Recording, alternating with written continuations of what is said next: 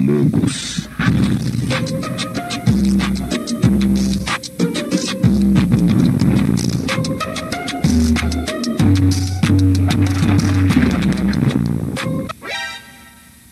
NANI? お前はもう死んでいる。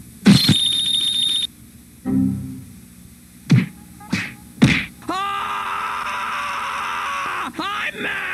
I have never seen such a self-centered Discord server. This server has to be one of the most selfish, cult-like Discord servers I have ever seen. Hello everyone, Dander here, and welcome back. So this will be another rant video and we are going to be taking a look at Garo Shadowscale. Before I get into the video, my last video I made of him, I never talked at all. So that's why I'm going to be making this video. Ever since I released the last video, Garo made sure I don't come back into his server by making it so you have to have a phone number to get in. That just makes my last video and this video valid. Also, be sure to like and subscribe with notifications turned on.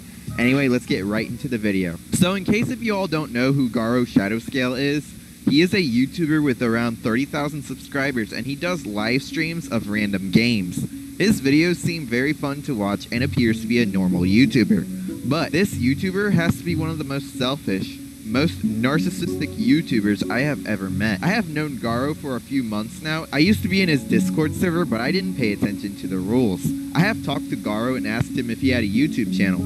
After that I mentioned that I was a YouTuber, he then said that YouTubers are not allowed in his server, and then he blocked me and banned me with no questions asked. I have always wondered why would he not allow YouTubers to go into his server? So I decided to go undercover as an alt and see what was up. After I joined and carefully read the rules, I was in shock. What kind of server is this? No YouTubers, Twitch streamers allowed in the server, no sending friend requests